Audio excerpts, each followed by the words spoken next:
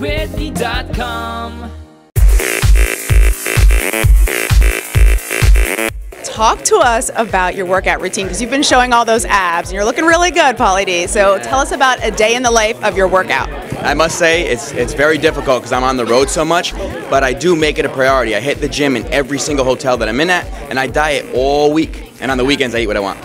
And that's it? That's it. And There's no crunches or pull ups or whatever? Oh, I'm doing so. I do abs every day. Okay. Every single day. Okay. And people say don't do it every day. I do it every day, with weights and everything. Okay. Yeah, that's my that's the secret with weights. Okay. Now talk to us about the Ellen show. You were just on with Eva Longoria. What was that like to be on the show with them? Listen, I love Ellen. She's my favorite person on the planet. And just to be on her show, I did it three days in a row, it was amazing to me. Like, who really gets to do that? And then Eva Longoria, oh my God, I had a crush on her my whole life.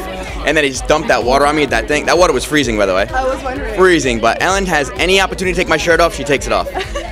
I was gonna say, but you were looking good on there. Did you say anything behind the scenes with Eva? Did you tell her you had a crush on her? Um, no, but I was surprised how fast she wanted my shirt off too. So I was like, all right, yeah, no problem. Yeah, she pulled those balloons. Yep. Now talk about. Um, did you hear about Andy Cohen when he had said if he was on a dating app he would swipe right for you?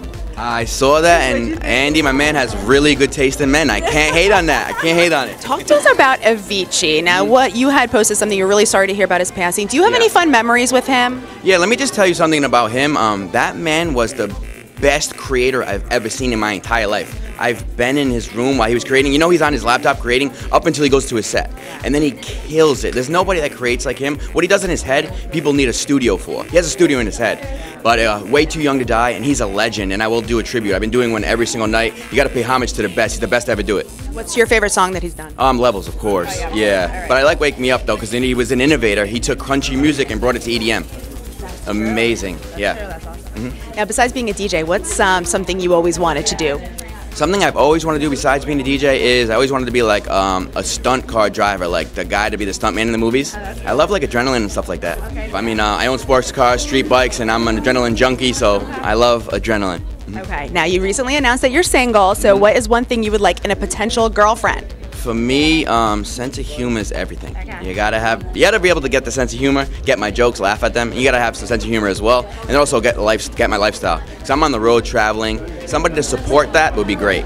That's true. You are on the road a lot too. That's awesome. Are you on any dating apps? Um, I am. I'm on Raya. I just got on it. It's You did? Pretty That's the dope. celebrity one? Okay. Yes, celebrity one. It's pretty cool. Any any good suitors yet? Um, not yet. I just got it, but I am. Um, it's pretty dope. You either hit, yeah, you either hit X or you hit heart. But I've been getting approved a lot. So.